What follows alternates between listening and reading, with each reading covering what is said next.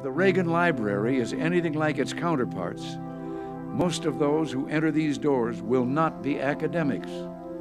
No, they will be ordinary people of all ages, backgrounds, and political persuasions, eager to examine their past and explore a history not always learned in school. For them, this institution will be a time capsule of American growth and greatness, covering more than a single presidency, honoring more than a single president.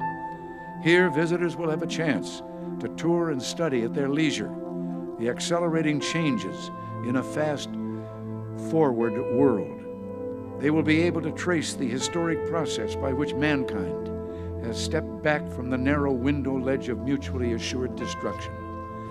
They will observe an American president and a Soviet leader sitting in a boathouse on the shore of Lake Geneva, striving to banish the nuclear nightmare from the dreams of all our children. They will see tears of pride from the boys of Pointe du Hoc. They will hear the trusting engines of Challenger lifting off on a heartbreaking final mission.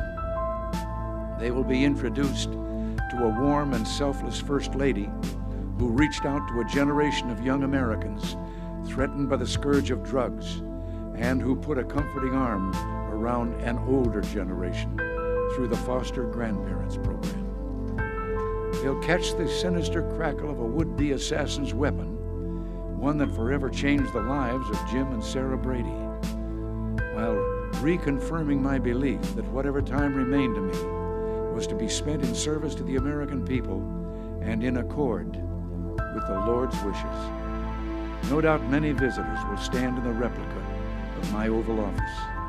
Perhaps they will sense a little of the loneliness that comes with decision making on a global scale, or the stabbing pain inflicted by a terrorist bomb half a world away, or the dread sound of a telephone in the middle of the night with news of hostile actions. They will also feel some of the immense pride that comes to any president in that office as he comes into daily contact with the American heroes whose faith in themselves, their mission, and their mandate is a never ending source of emotional renewal. And let me offer lesson number one about America. All great change in America begins at the dinner table. So tomorrow night in the kitchen, I hope the talking begins. And children, if your parents haven't been teaching you what it means to be an American, let them know and nail them on it. That would be a very American thing to do. All in all, not bad. Not bad at all. And so, goodbye. God bless you.